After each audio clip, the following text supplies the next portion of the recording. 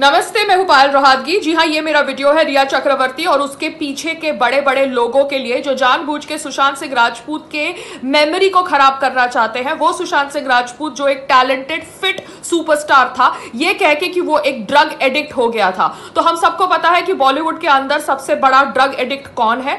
संजय दत्त के ऊपर तो पिक्चर भी बनी है और आज की तारीख में he is unwell because of his bad habits probably because he didn't give it up and उसके बावजूद हम सबने करण जोहर का खुद का वीडियो देखा है, जहाँ पर उसके घर के अंदर किस तरह की पार्टीज़ होती है। बॉलीवुड के अंदर ड्रग्स का एडिक्शन है and that is no you know there is no doubt about this thing मगर आप जानबूझ के सुशांत सिंह राजपूत की मेमोरी को अटैक करना चाहते हैं, अपने आप को बचाने के लिए with the help of so called liberal media तो रिया चक्रवर्ती, आपको सोचना चाहिए कि ये सोशल मीडिया का जमाना है। 2013 में ना वो डिप्रेस थे, ना वो कोई डिप्रेशन की दवाई ले रहे थे। मोडोफिनिल जिसका नाम लेके आप राजदीप सरदेसाई की शोल्डर के ऊपर रो रही थी। वो एक सोने की या सोने की दवाई है या स्लीप डिसऑर्डर को ट्रीट करने की दवाई है। तो झूठी खबरें फैलाना बंद करिए। जैसे आपने मोलेस्टेशन की कहानी फैलाई you know accusing Sushant Singh Rajput sister वैसे आप ये डिप्रेशन की कहानी फैलाने का प्रयास कर रही थी कि कैसे उसको क्लॉस्ट्रोफोबिया होता था यू नो बिफोर फ्लाइंग जबकि उसके फ्लाइंग के वीडियोस वायरल किए हैं अंकिता लोखंडे ने।